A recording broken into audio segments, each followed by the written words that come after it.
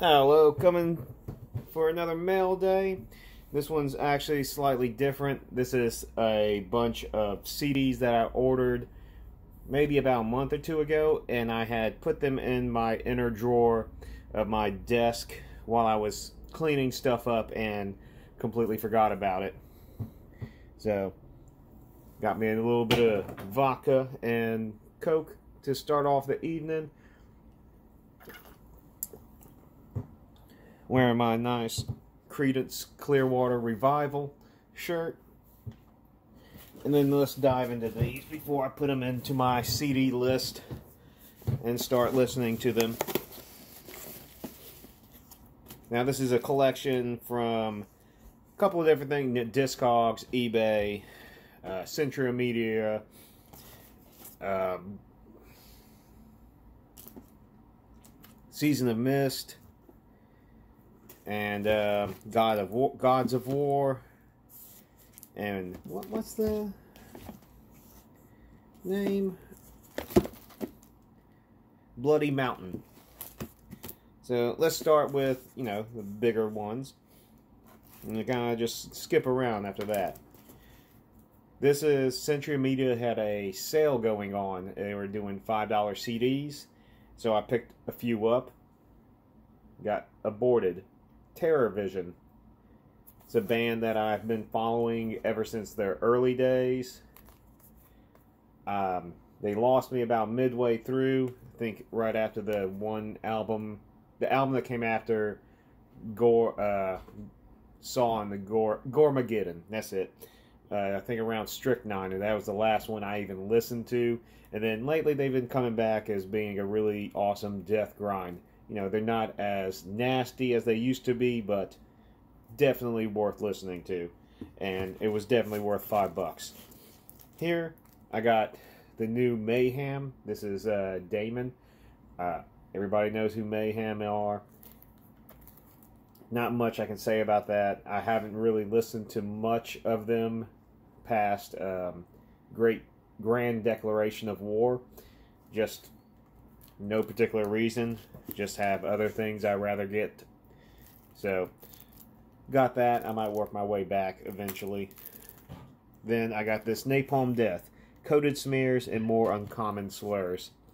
This is a two CD compilation album.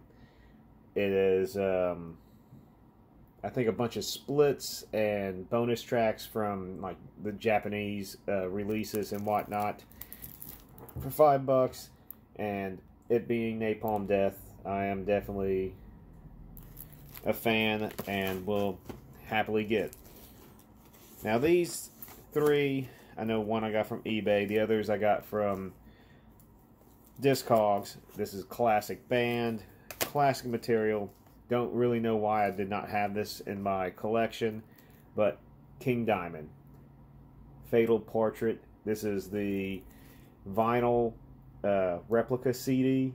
It's a little bit bigger digipack than normal. I just like the presentation of this one over the others, you know, other than the original, especially for the back. But definitely um, happy to have it. I'm very familiar with the band, of course. This one, uh, I was painting a house recently and listened to it it's not the best of post voodoo King Diamond, but it is very awesome. I mean, all King Diamond is awesome, but this is House of God.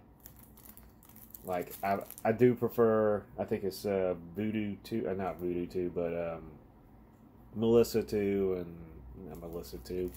Hell, Abigail too. That one was really awesome, and Puppet Master is really awesome, and I need to get those two. But this one was on there for cheap. I went ahead and snagged it up. And then also this classic, Mercyful Fate, Into the Unknown.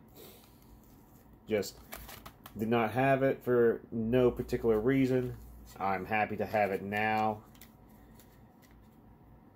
Just excellent, excellent. It's like the 96 release of it. So, fantastic. If you're not a fan of King Diamond, you are not my friend. Now, this is from Season of Mist. I was ordering the new Revenge album. Strike, Smother, Dehumanize. Always been a huge fan of Revenge. I happen to get the digipack that has the back patch, or, you know, the little patch with it. Um, I already have a Revenge patch on my jacket. I might start another one, put this one on it. Might save it off to the side for something else. Either way, was quite happy to get it. Decided to pick up some of the other ones I did not have. I have most Revenge, but I had a double check to see what I didn't.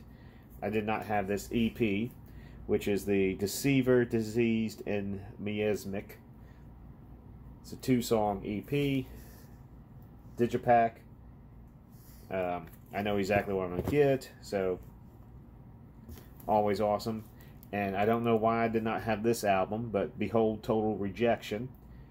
I uh, usually try to keep up with what albums I have by recognizing the artwork on it.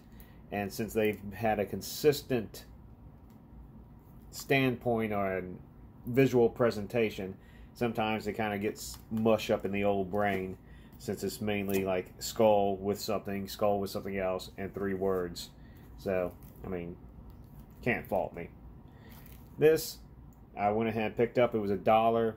Ritual Killer, semi-local to me. Uh, I know Sammy. I know Zach. I know James, even though I don't know if James performed on this particular one.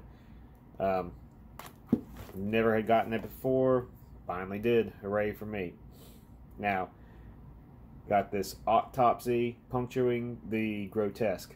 I have pretty much all of the autopsy albums and EPs and whatnot up till the Hacksaw album, Tourniquets and Hacksaws, and um,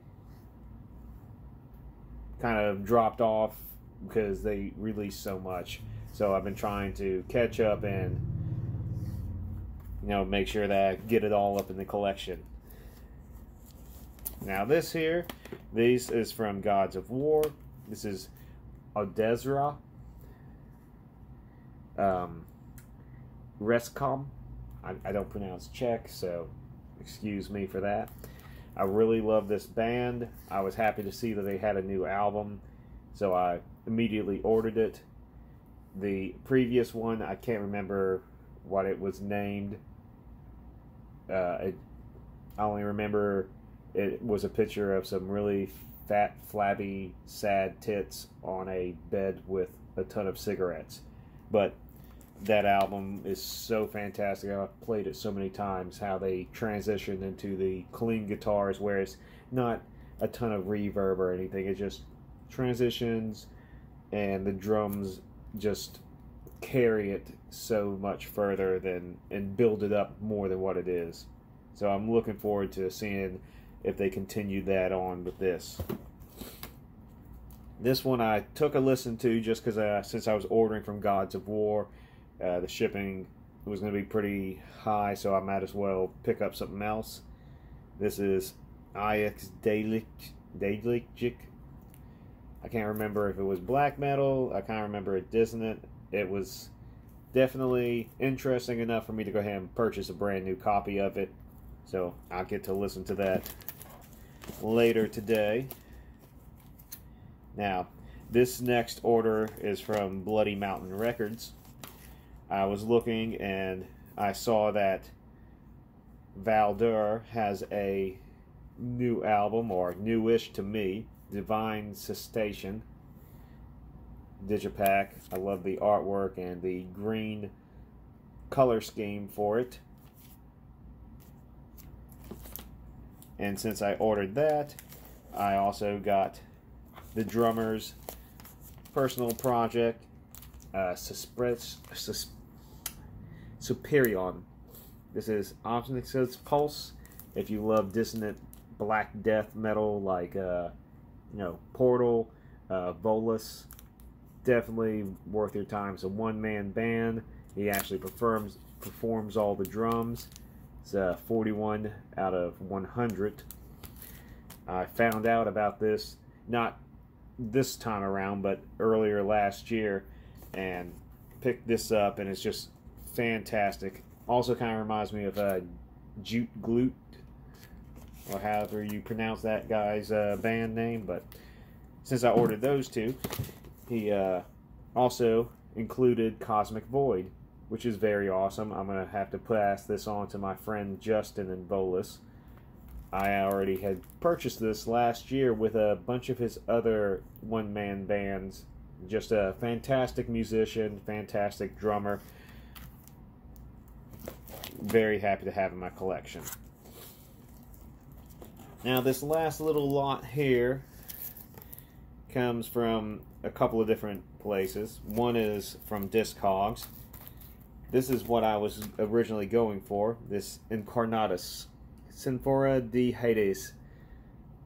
It's awesome Black Death. Um, trying to think of what it kind of sounds like.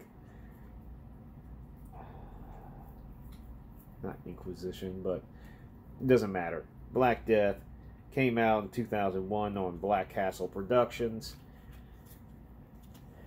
My friend was telling me about it, telling me how rare it is. I went to uh, Discogs immediately and found a copy for ten dollars, and purchased it just immediately right there, and laughed at him for trying to build it up for more. And since I was buying it from Discogs, I went ahead and got this. This is Crypt Grave, just solid death metal, old school. Love the old school uh, black and white artwork. Went ahead and picked that up.